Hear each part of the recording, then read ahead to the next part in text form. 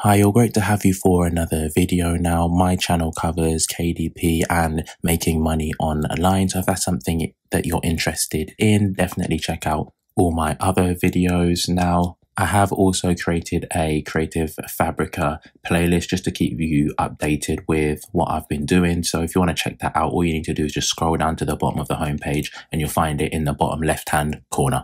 And in that playlist, you'll find out how to set up your own shop and many other useful tips also. Now let's check out my five month earnings in this video.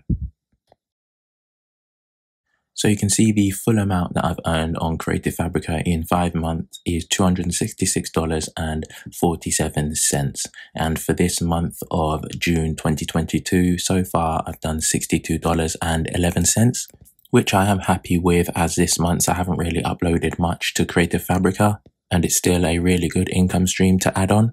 And if we were to average it out over five months, then it would be roughly $53 per month, which again would cover most of my subscriptions, including Creative Fabrica, Canva, and KDP Champ. So some people might think that's a lot, some people might not think it's very much at all, but to keep it in perspective, my first five months on Amazon KDP. So my total net royalties was only $186.12. So this amount was after taking off advertisements. And the gross amount, which is the full amount before any advertisements and deductions, was $220.56.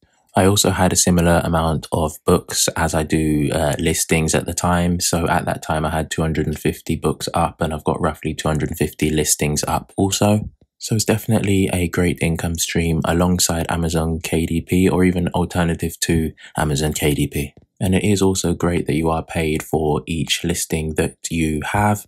And it's not a big amount, but it does give you that incentive to keep uploading quality listings to Creative Fabrica.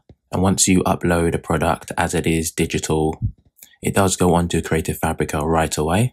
And I really do enjoy the faster payouts. You can get paid out within seven days, unlike KDP where you have to wait for a whole two months.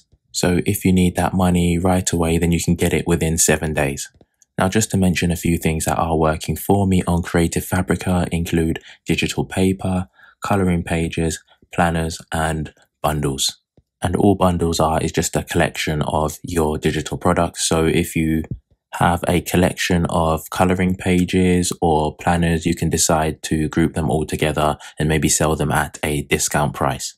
So this was a much shorter video for today, but thanks for watching. If you've got any questions, then leave them in the comments and you can check out this video to set up your own shop.